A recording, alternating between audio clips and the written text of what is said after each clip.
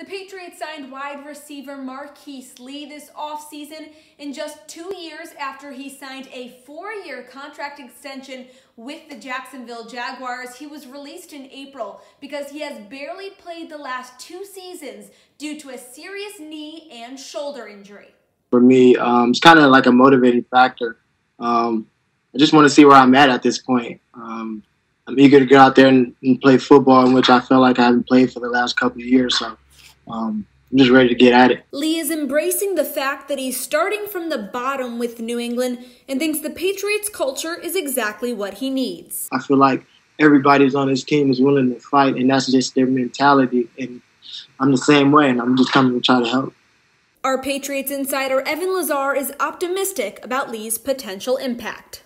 Kind of hope that maybe the 2016-17 Marquise Lee can come back or averaged over 750 receiving yards over that two-year span. A guy that can really play as a big slot, I would say Lee is, and he more of an inside receiver than an outside receiver, but he's got strong hands with body positioning on the inside.